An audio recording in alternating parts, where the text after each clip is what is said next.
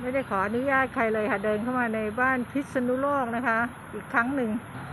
และเดนนี่ชื่อบ้านบรรทมศิลป์นะคะ ได้สถาปนิกชาวอิตาลีมาสร้างให้นะคะที่นี่ สวยมากค่ะ นี่นะคะบ้านพิษณุโลกหรือบ้านบรรทมศิลป์นะคะ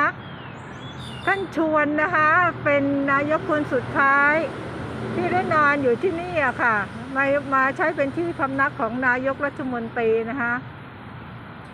สถาปนิกที่ออกแบบก็เป็นชาวอิตาลี สร้างในรัชสมัยรัชกาลที่ 6 นะคะ ท่านทรงสร้างให้กับมหาเล็กนะคะพระยาอนุรุตเทวา จากบ้านบรรทมศิลป์ก็เปลี่ยนชื่อเป็นถนนพิษไอย